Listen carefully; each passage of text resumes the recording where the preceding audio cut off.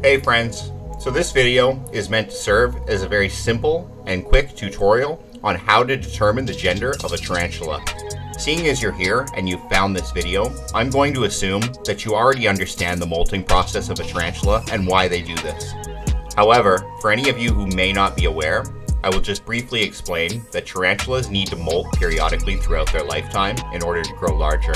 These animals have exoskeletons, which means that they wear their skeleton on the outside of their body. The skin of a tarantula can essentially be thought of as a suit of armor, and while the soft tarantula inside of this armor grows larger, it eventually needs to break free in order to have more room to do so. Though some species of tarantula have outward physical characteristics which help to identify their gender, the most surefire way to do this is by inspecting their shedded exoskeleton. In order for this to be successful, there are three things that you need to consider.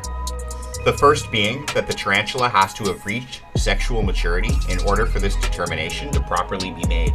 Though the length in which it actually takes a tarantula to reach maturity is dependent on its species, gender, diet, and environmental conditions. Generally speaking though, this will be at least a couple years after their conception. The second thing to consider, and which I'll explain more in depth as we go, is that you want the molt to be as fresh as possible. The longer it's been allowed to sit and dry out, the more likely it is that it's become damaged and unusable for this purpose. This ties into our third factor, which is that if there is a lot of damage done to this molt, then you're not going to be able to use this, and you'll simply have to wait until the next time your tarantula molts to try again. So now that all of that has been stated, let's talk about what we actually need to use in order to do this. The first thing you'll probably want to use is a pair of latex gloves, as touching tarantulas with your bare hands can often lead to hairs becoming stuck in your skin and massive irritation. The next thing you'll want to acquire is some forceps or fine tweezers, as this process is fairly delicate, and doing so with your bare hands can usually lead to damaging the molt further.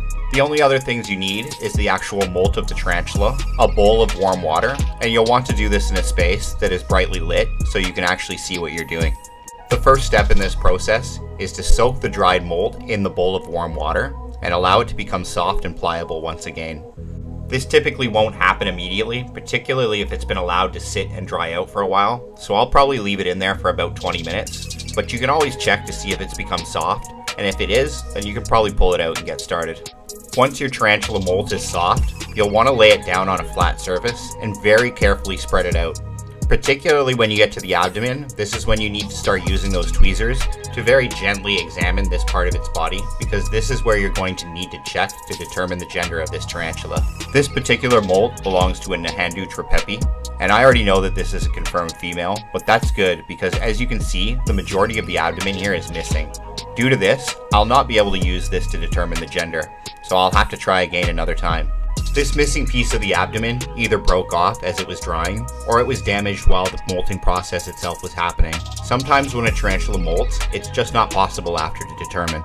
Luckily, I already have on hand the exoskeleton of a Brachypelma boehmei, and I'll be able to show you using this just how to do this. So we will once again go through the process of soaking this exoskeleton until it's become soft and easily manipulated. So now for my second attempt, I will once again very carefully lay out and flatten the exoskeleton of this tarantula and spread open the abdomen. What we're looking for here is a very small flap which is located in the top center of the bottom of the abdomen.